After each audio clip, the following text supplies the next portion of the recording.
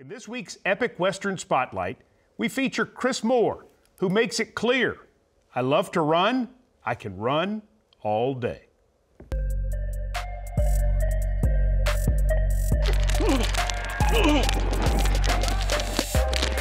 Every year I'm here, I keep getting better, but I'm definitely, this is uh, the best Chris Moore. As I get older, I feel like I'm getting more opportunities to go out there and play more receiver. Uh, early in my career, I was just a special teams guy and just going out there on special teams. But as I get older, they let me play receiver. I'm building more trust with these coaches and the organization.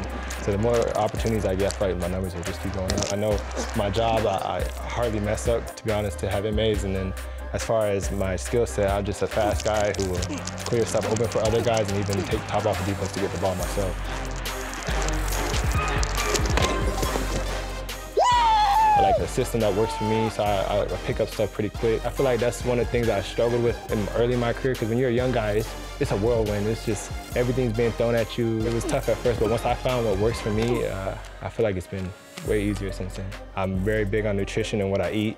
And then as far as like just learning a new playbook always, I have a, how I study, I'm a big flashcard guy. Like I'm always flashing through flashcards, that's how I learn the offense. And that's the big thing that for me that gets me going. The players out there making the decisions at high speed, but we can have a very successful game. So, I mean, that's what I like about it. It gives us a lot of freedom to go out there and just play football and play fast. Now I want my teammates to know, like, when I'm on the field with them, that they can trust me to do my job. I see you, baby. That's how you make a play. And that you don't have to worry about me on the field. So I love to run. Like, I can run all day.